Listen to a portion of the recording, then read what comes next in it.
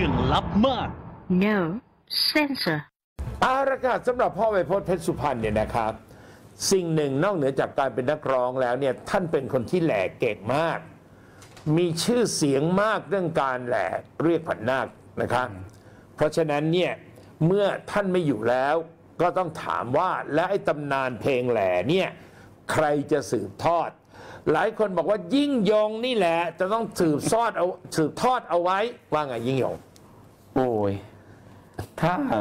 จะสืบทอดก็ต้องไปฝึกฝนใหม่ครับอาจารย์ ทำไมอะเพราะว่าผมก็ไม่ยังไม่ได้เหรอแหละไม่ได้เก่งในเรื่องแหล่เท่าไหร่ครับแต่ว่าที่มีหลาย ๆ ท่านที่ที่แน่ ๆ ก็คือคุณทศพลหิมพานต์เนี่ย อ่าฮะอ่าฮะ ชัวร์เลยคนนี้ อ่า แต่ว่ารับปากว่าจะสารต่ออมจะได้มากได้น้อยไม่เป็นไร ก็จะรับปากสารต่อ เมื่อวานเพิ่งไปเคารพศพครับ แล้วก็กราบพ่อว่าพ่อ เพลงแหล่หรือว่าทางขวัญนาคลูกจะพยายามฝึกฝนทำตามที่พ่อให้ให้ทำนะอือฮึขอรับปากว่าจะทำก็จะทำเท่าที่เราทำได้ตอนนั้นมีอยู่คนหนึ่งเขาหายไปไหนแล้วไม่รู้ที่เขาด้นเก่งมากกับเพลงแหล่เนี่ยใครอาจารย์พี่นึกชื่อก็ไม่ออกแต่ตอนนั้นเขาเก่งมากเลยนะเหรอฮะอ่าแล้วก็หายไปแล้วแม่ขวัญจิตก็แหล่เก่งไม่ใช่เหรอแม่ควันจิตก็แลเก่งอืมเก่งมากใช่ไหมจริงๆจริงๆอาจารย์อย่างนี้นะ การแหล่เนี่ยมันไม่ใช่ว่าใครแหล่ก็ได้นะอือฮึเพราะการแหล่ของพ่อเนี่ยเขาเรียกว่านักแหล่อัจฉริยะค่ะนักแหล่ที่มีความไวพริบมาก แล้วก็ใช้ภาษาการแหล่ที่มีภาษามีคำที่เพราะ มีความที่ลงตัวมากส่วนใหญ่เป็นการด้นด้วยใช่ไหมครับใช่ไม่ครัได้บแต่งไว้ล่วงหน้าๆแกจะด้นตามธรรมชาติของแกอืมแล้วก็ลงแบบโป๊ะเลยนั่นไงคือเก่งมากๆ ไม่รู้ก็ถามเพราะว่าพ่อคิดได้ยังไงเนี่ยบอกมันมาเอง ท่านบอกมาเอง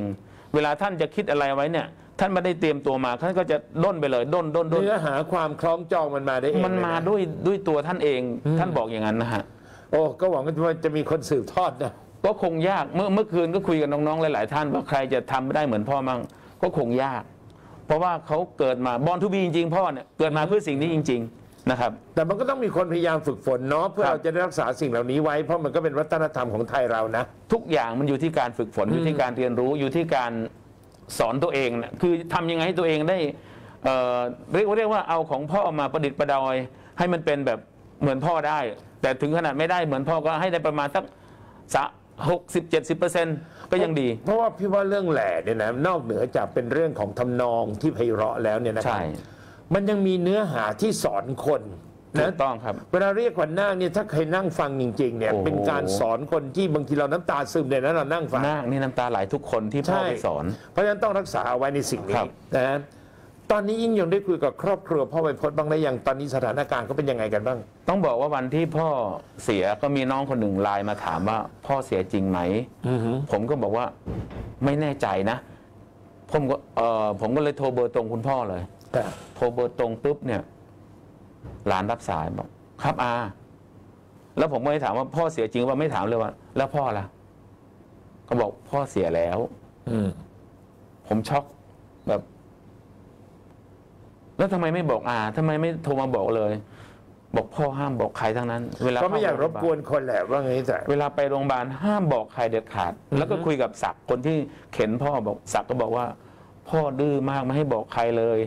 กลัวไปรบกวนคนอื่นเขาเออแล้วก็บอกว่าไม่ต้องไปบอกใครเดี๋ยวเราก็กลับบ้านเดี๋ยวเราก็กลับบ้านคือมันมองสวนทางกันนะนะคนไข้ก็ไม่อยากรบกวน ครับ แต่คนที่ไม่ได้เป็นคนไข้ก็อยากไปให้กำลังใจ นี่คือการมองสวนทางกันใช่ครับ อ่าคือเรามีความรู้สึกถ้าเราไปเนี่ยไม่ได้เป็นการรบกวนเราเลย เราอยากให้กำลังใจอยากให้กำลังใจอ่าแต่ขณะเดียวกันคนป่วยก็เออไปบอกเขาทำไมเป็นการรบกใช่วนเขามันอะไรเป็นการรบกวนแล้วเป็นการที่แบบเหมือนเกรงใจเราอะไรเงี้ยบอกทำไมศักดิ์ไม่บอกพี่พี่เนี่ย สนิทกับพ่อมากี่ปีนะคือได้ได้รู้จักกับพ่อจริง ๆ ได้สนิทกับพ่อจริง ๆ ก็ประมาณ2อสปีเนี่ยที่ผ่านมาเนี่ยที่ทำงานด้วยกัน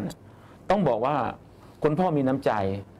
ทุกครั้งที่มาจากสุพรรณจะซื้อสาลี่จะซื้อของมาฝากลูกตลอด บอกพ่อไม่ต้องซื้อก็ได้ บอกไม่เป็นไรหรอกลูกทำงานกับพ่อเนี่ยพ่อก็อยากให้ลูกกิน คือพ่อกินอร่อยลูกก็อยากให้ลูกๆได้กินกัน และทุกครั้งที่มาเนี่ยคุณพ่อจะมารอเป็นชั่วโมงสองชั่วโมง ก็ไม่เคยบ่นบอกว่า พ่อทำไมรีบมาล่ะ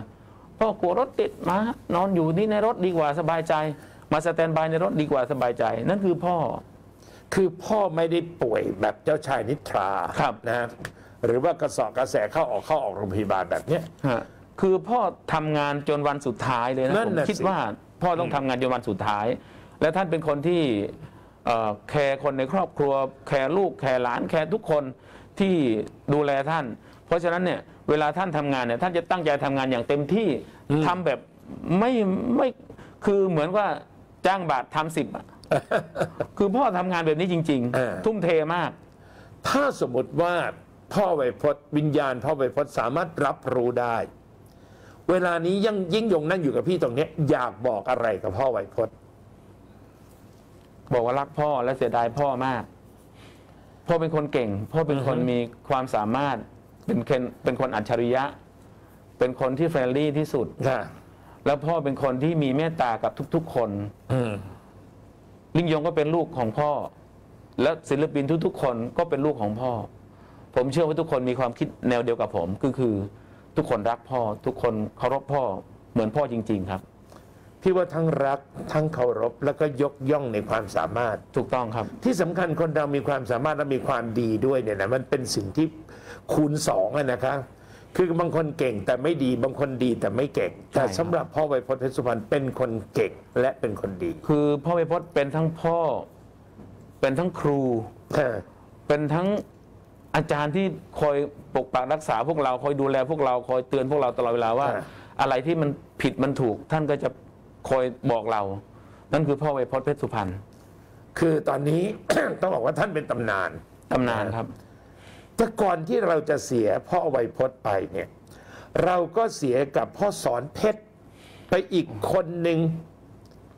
เวลามันใกล้กันมากเลยนะ คนวงการลูกทุ่งรู้สึกช็อกบ้างไหมเนี่ย ต้องบอกว่าเริ่มต้นตั้งแต่พี่แสงสิริรุ่งโรจน์อ่าคุณธันวาราศีธนู พี่พรศักดิ์สองแสงอือหือ แล้วก็จะมาอาจารย์สอนเพชรสอนสุพรรณแล้วก็มาพ่อไวยพจน์เพชรสุพรรณใกล้กันเลยใช่ไหมคือไล่กันเลย ปีที่แล้วมาไล่กันมาเลยอือหือซึ่งไม่รู้ปีนี้ ปีที่แล้วกับปีนี้ทำไมนักร้องลูกทุ่งต้องเออโดนเทวดาพากลับสวรรค์หมดเลย เดี๋ยวนะ ที่พูดมาเนี่ย อายุน้อยที่สุดเท่าไหร่ ถ้าพูดถึงพ่อไวยพจน์ก็คือ 80 คุณพ่อ 80 อาจารย์สอนเพชร 70 70เองเหรอ73อ๋อเหรอครับอ่าคนที่น้อยที่สุดน่าจะเป็นคุณธันวาราศีธนูอ่าฮะเจ้าของเพลงไกนาตาฟางครับ และพี่พรศักดิ์ก็น่าจะเป็นน่าจะ60กว่าครับ ก็ถ้าพูดถึงแล้วเนี่ยพ่อไวยพจน์ก็อายุยืนกับเพื่อนอะนะยุยืนกับเพื่อนเพราะ80อย่างที่ผมใช่ไหมจ๊ะที่ผมพูดแต่แรกว่า คุณพ่อเนี่ย เจอสี่ยุคเลย ยุคแรกคือยุคท่าน ยุคที่สองคือยุคพี่เป้าพี่แอ๊วพี่ผึ้งอ่าฮะยุคที่สามก็คือยุคผมอ่าฮะยุคผม ยุคเอกชัยยุคอาภพรเงี้ยยุคสุนารีคุณสุนารีอะไรเงี้ยยุคที่สี่ก็คือยุคอินดี้ทุกวันเนี้ยท่านยังอยู่ต่อทุกวันเนี้ยความรู้สึกยิ่งยงการที่เราเสียนักร้องลูกทุ่งไล่เรียงกันใกล้ๆอย่างเงี้ยนะฮะโดยเฉพาะอย่างยิ่งพ่อศรเพชรและพ่อไวยพจน์เนี่ยใกล้กันขนาดเนี้ย มีการคุยอะไรกันในหมู่เอ่อนักร้องลูกทุ่งบ้างไหมเกี่ยวกับเรื่องนี้ทำไมมันเกิดอย่างนี้ คุยครับ อ่า ก็ทุกคนก็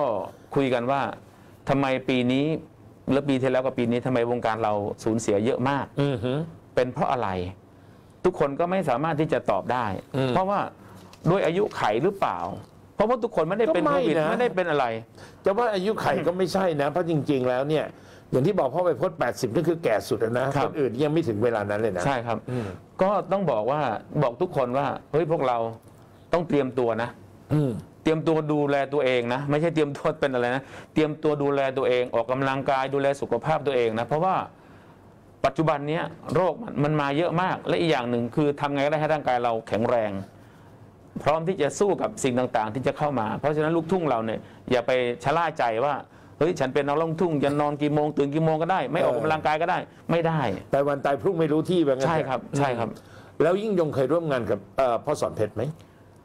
ต้องบอกงี้ก่อนเบิร์ตสมัยที่ผมไปสมัครร้องเพลงครั้งแรก กับพ่อบรรจงมนไพรที่สบุผาเนี่ยค่ะก็พ่อบรรจงเนี่ยเป็นผู้จัดการของอาจารย์สอนเพชรสอนสุพรรณอ๋อใช่ครับ แล้วผมไปสมัครปุ๊บผมก็ไปร้องเพลงของคุณขวัญชัยเพชรร้อยเอ็ดอ่าคนไกลบ้าน ให้ท่านฟังท่านก็บอกว่าเอ้ยเสียงดี อืมอยากเป็นนักร้องใช่ไหมบอกใช่ครับ เดี๋ยววันที่7ตุลาคมเนี่ย สอนเพชรสอนสุพรรณจะเปิดวงที่วัดยานนาวา แล้วลูกอยู่ที่ไหนบอกผมอยู่ที่วัดดอนครับ ผมตอนนั้นอาโอ้ศัยใกอล้ยู่วัดกันดอนนี่วัดดังก็ใช่ครับยานผมนาวาอาศัยอยู่วัดดอนและทำงานก่อสร้างอยู่ อืมท่านบอกว่าเอางี้วันที่7ตุลาอืมไปเจอวงสอนเพชรสอนสุพรรณเปิดที่ยานนาวา ก็แปลว่า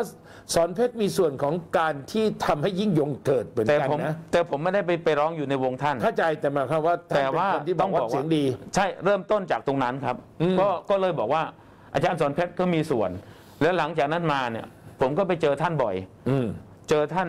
ตามงานต่างๆ เหมือนกับพ่อเลย คือเจอพ่อก็เจออาจารย์อืมอยู่คู่กัน อืม เจออยู่คู่กันอย่างเงี้ยตลอดเวลา ไม่ว่าจะเป็นงานใครก็แล้วแต่ถ้าไปเป็นงานเกี่ยวกับลูกทุ่งเนี่ยจะเจอทั้งสองท่านเนี่ย นั่งคู่กันอยู่คู่กันอาจารย์สอนเพชรอยู่ฝั่งนี้พ่อไอ้พจน์อยู่ฝั่งนี้ลูกหลานก็จะมากราบมาไหว้ทุกคน เป็นคนสุพรรณด้วยกันทั้งคู่เนาะใช่ครับ ศิลปินลูกทุ่งนี่มาจากสุพรรณเยอะมากเยอะเลยมานะกครับ เยอะมาก เอาละค่ะเดี๋ยวเราพักกันตรงนี้สักครู่หนึ่งแล้วไปดูกันช่วงสุดท้ายค่ะ